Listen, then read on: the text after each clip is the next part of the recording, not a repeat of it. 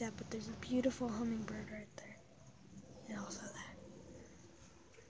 What is it still there? I can't see. yeah, he's still there.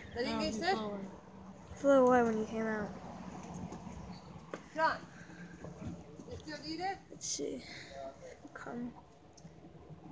I wasn't ready to make a fun of. I was gonna cut the. I gotta pump it. I gotta figure it out. Pay attention. How much is the ready to pump? Cat, get away from there. No, please, please, no, no, get away from the. Get away from there, please. See if we can get really close. See if he comes.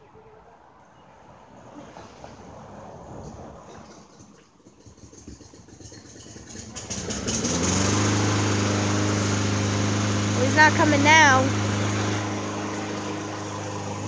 Well, I just wanted to show you guys the little clip. Let's see, cat, rooster. Hey, Mr. Rooster. Yeah. Anyway, I just wanted to show you guys the hummingbird because I thought it was kind of cool. And until next time, guys, peace out. Do the outro for me.